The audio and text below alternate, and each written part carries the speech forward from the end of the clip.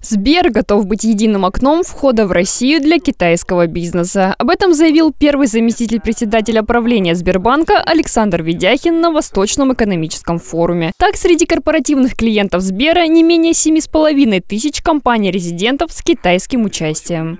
Что поменялось, то, что мы видим по паспортам сделок, если раньше все было достаточно просто, из России в, в Китай это энергоносители, Э, из Китая в Россию товары народного потребления, то теперь мы видим, как много из Китая заходят техники, сервисных решений. Собственно говоря, Китай во многом заменил для России э, поставщиков из э, Центральной и Восточной Европы, из США. И на самом деле это хорошие тренды.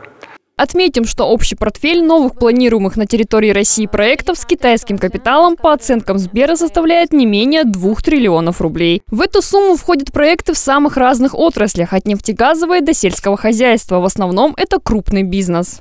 Наш центр инвестиций в Москве объединяет 300 китайских компаний, в том числе 150 самых важных. Вклад наших предприятий – более 60 миллиардов долларов инвестиций. Мы предоставляем помощь в подборе рабочей силы, финансировании проектов на территории России, помогаем открывать счета, в этом вопросе сотрудничаем со Сбером, помогаем продвигать китайские автомобили на российский рынок. Это не только предприятия, но и производство запасных частей, а также поставка технологий. Задача Сбера – помочь и среднему китайскому бизнесу быть успешным в России. И сейчас над этим идет активная работа. Анна Дьякова, новости на восьмом.